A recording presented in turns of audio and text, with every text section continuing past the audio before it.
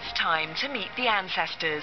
Over the course of this series, Alexander Thynne, the seventh Marquess of Bath, has volunteered to lead us back through the branches of his family tree to visit some of his most influential forebears. It's a task for which Lord Bath is well qualified. Not only has he lived here most of his 74 years, surrounded by family lore and legend, but he's also recently published his own memoirs, featuring many stories of the ancient Thynne dynasty. Today we're going back four and a half centuries to when it all began. It was John Thynne who first brought the family to Longleat.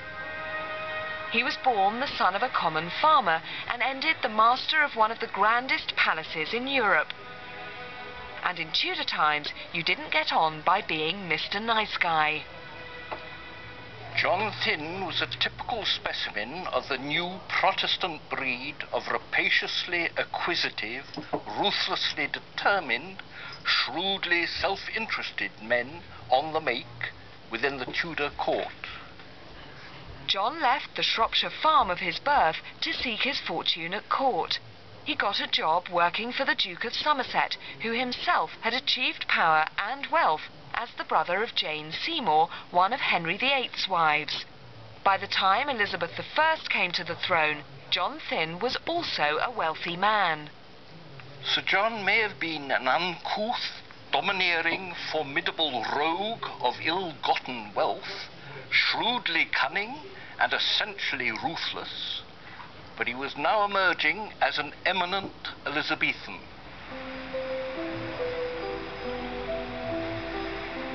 He was nicknamed John the Builder.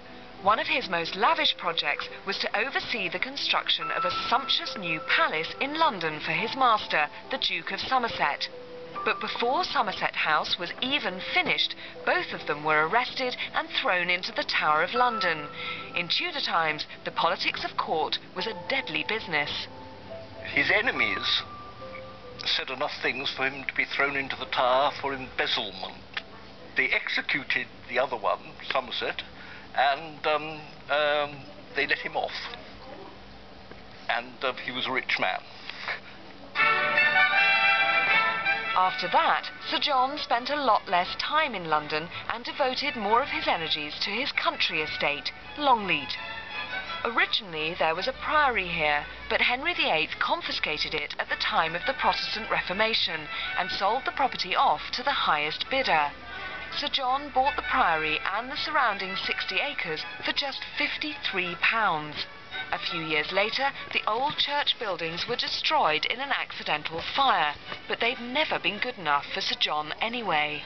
Uh, he was becoming wealthy very quickly, and um, then I think learnt the lesson that um, court was a dangerous place where you tended to lose your head if you stayed there too long. So he uh, had, having bought the plot of land here at Longleat, um, he retired here and um, spent the rest of his life from mid 50s onwards uh, to um, build this palace. And it was the first Renaissance palace, or it could be called that, in England.